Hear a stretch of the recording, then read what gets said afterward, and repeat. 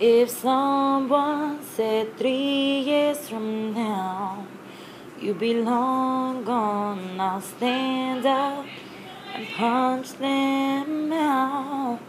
Cause they're all wrong, yeah.